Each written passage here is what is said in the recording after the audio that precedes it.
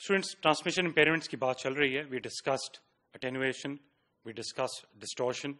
Now we are going to be talking about noise. Students, noise, any kind of noise corrupts our signal. Noise can be of multiple forms. We can have thermal noise, we can have induced noise, we can have crosstalks, we can have impulse noise. Uh, but any type of noise, it corrupts the original signal. Thermal noise, for example, it can be due to the motion of electrons in the transmission medium.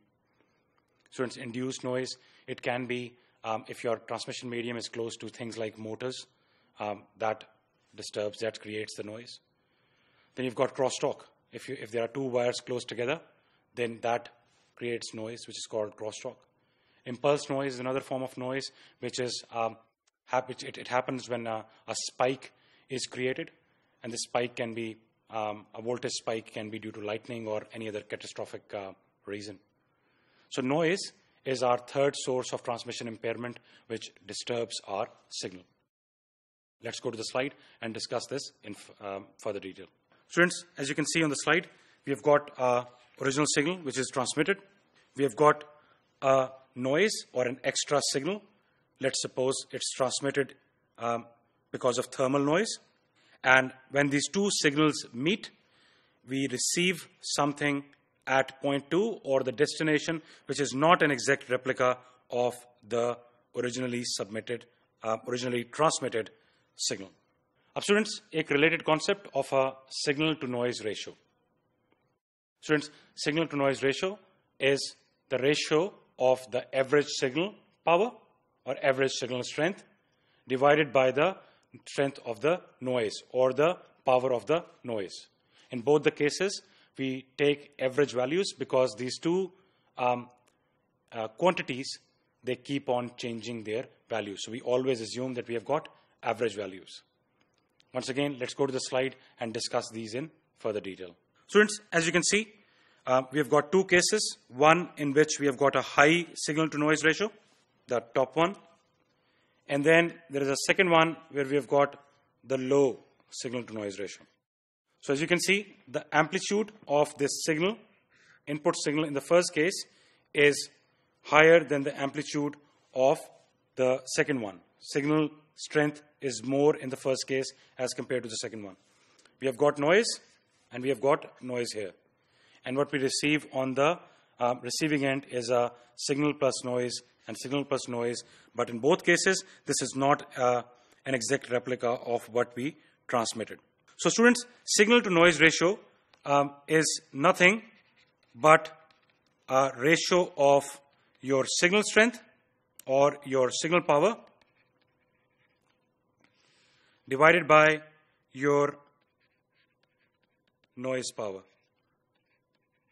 So essentially, what you're doing is you are creating a ratio or you're finding out a ratio of what is wanted and what is not required, unwanted or not wanted. Students, um, a low SNR means that our signal is more corrupted. A high SNR means that our signal is less corrupted. And you can compare the two. The top one, which is high signal to noise ratio, is still um, a slight replica of what we transmitted.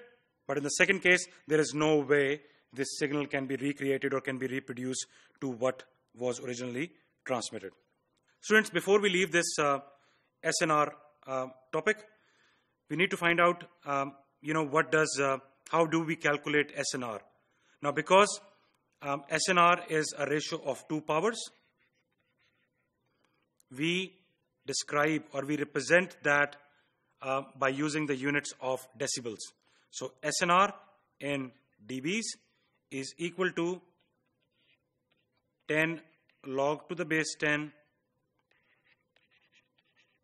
the actual ratio that you have calculated. So, this signal to noise ratio, it needs to be converted into decibels using this formula right here. Now, students, um, we'll look at a couple of examples in which we have to calculate this signal to noise ratio.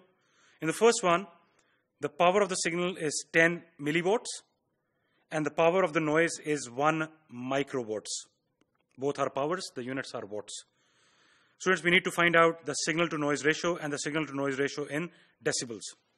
Students, how do we do that? In the first case, our SNR is equal to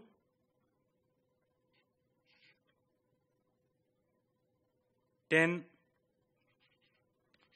milliwatts divided by our noise power, which is 1 microwatt.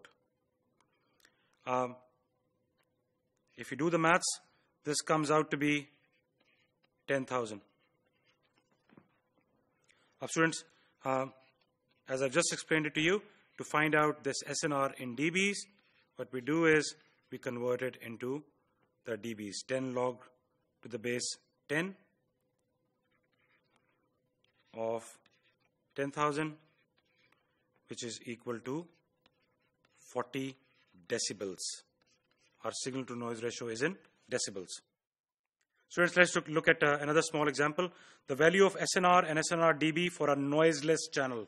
A channel in which the noise is equal to 0. This is not a real life scenario. So there is never, we have not come up with a channel at all which is um, which has got a noise of zero. But let's try to find out the SNR.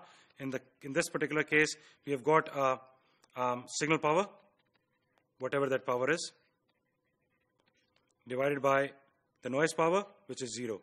And therefore, our, our SNR is equal to 10 log to the base 10 of infinity, which is also equal to infinity. Not real. So we, we cannot have a noiseless channel. There has to be some sort of noise, whether it's heat, whether it's induced noise, impulse, or whatever it is that we'll have in our transmission medium.